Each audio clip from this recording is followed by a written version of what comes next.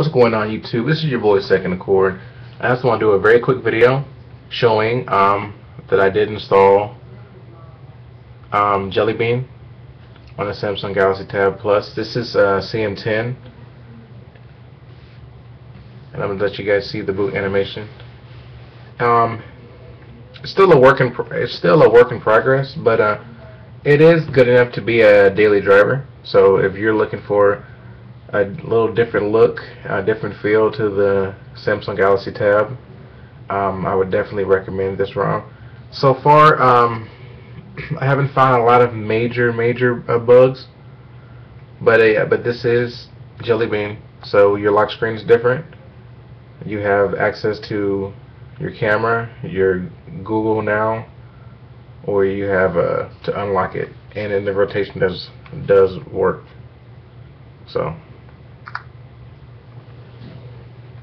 oh, upside down. So right now the launcher I'm running, I'm actually running Nova launcher. Um, the stock stock launcher is cool, but uh, for some reason it zooms in the wallpaper. So anybody that ever has issues with wallpapers on the ice cream sandwich or Android device, I'd recommend using Nova launcher.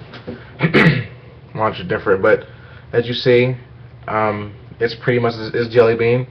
Now your notification bar is now at at the top now, so you pull it down. You have access to your notifications. If you have a notification, they are expandable. So you, if you use two fingers, you can expand your notifications now in Jelly Bean. Um, your music players um, can also use expanded notifications, so you can have more options when you when your music player. Um, text messaging, emails. I don't have any notifications to show at the moment, but so now that's there's now your your notifications now. Um, the only weird, wonky thing about this ROM so far that I've noticed is your bottom soft keys are backwards. It has your recent apps over here, and it has your back here, but as soon as you turn it, oh, I had tried to turn the rotation if I'm, I'm, I'm sorry, but see the notification down down here? When you turn rotate it, it reverses them. So actually in portrait mode, this is the way they're supposed to be. Your back key is supposed to be on the left, your recent apps is supposed to be on the right. But when you are in portrait mode, it flips them around. So that's a little frustrating. but that's the only uh, su super major bug. Also, the other uh, bug I've noticed is that your gallery does not show your your um, your online albums. And that's also the same thing on my Epic 4G Touch. I have Jelly Bean, and for some reason it doesn't show your Picasa albums. But the ROM runs smooth. There's no lag. There's no stutter.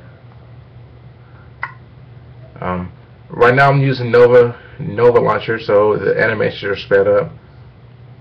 But there's no lag anywhere really in in this ROM. Um, you have access to the stock browser. So this is the stock, I think it's the ice cream sandwich browser or jelly bean browser, I'm not sure. Um, really good browser, no issues. Everything about the ROM is, is, is a very, very, very smooth. Um, Google Now works, so we'll do a quick demonstration. What's the weather like? 72 degrees and clear in Omaha. So, there we go.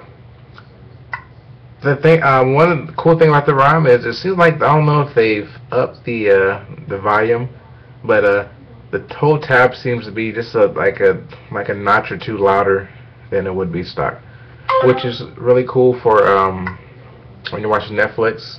I always thought that Netflix was uh, a little volume was a little low, but um, the volume works good. You also have access to your settings up here. You have some quick toggles that you can change. Those are CM10 settings. I'll show you just some of the settings that you get in, in, in CM10. You have launcher settings, so you can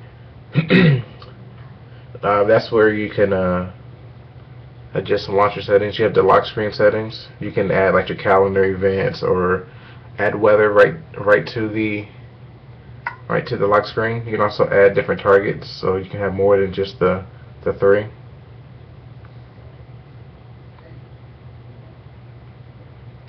You also have uh, themes. Anybody that's ever used uh, um, a, a CM ROM, like CM9 or whatever, you can change the themes. I don't have any themes downloaded right now, but uh, you can make your tablet look totally different. You also have some system. This is where you can adjust your your widgets in your notification bar. So you can adjust adjust the toggles. Wallpaper. Um, the font size. I got the font size on large because the when you when it's on normal, it's very very small throughout the whole ROM. So. Um,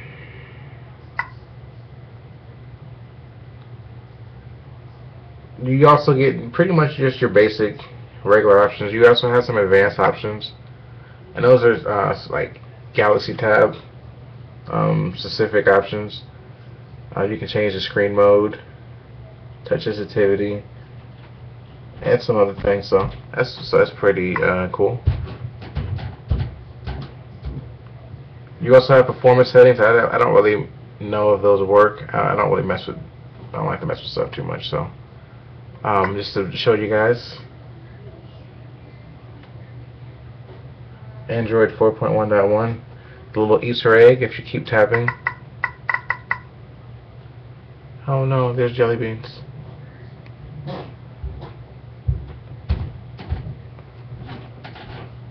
So that's that's pretty cool.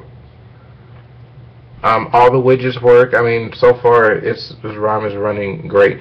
Battery life has been on par with uh, what we're used to Another um, positive about this ROM is I have a lot of Game Gameloft games that were not compatible with the Galaxy Tab before. Um, I have Modern Combat 3, I have uh, Gangstar, City of Rio, and all those Game Gameloft games that were not compatible, now that I have the CM10, they are all now compatible. So um, all my apps are still worked up here. To install this, you are going to have to have you be rooted and you need Clockwork Mod. Um, if you want to know how to do any of that, just go ahead uh, check out my channel because I actually show a video on how to root it, how to install Clockwork Mod, and um, if you guys would like, I can do a video on how to install CM10. But it's it's a very simple process. All you need to do is get the ROM on the tablet get the appropriate Jelly Bean apps, and then you're gonna do a factory reset. you're gonna factory reset, um, and wipe your the, your your Dalvik cache, um, and your cache partition. You're gonna flash the ROM, and then you're gonna flash the Jelly Bean apps. And then after it loads up, then you should be on Jelly Bean on the Samsung Galaxy Tab. 7.0 Plus. If you have any questions, go ahead and leave a comment below. I can answer any questions. Um, if you like this video, please give me a thumbs up. If you have any suggestions or feedback, go ahead and leave it in the comment section below. You can also follow me on Twitter, Second Accord. I do have a um, posted link for every time I'm uploading a new video. If you like what you see, go ahead and subscribe. Second Accord. I'm out.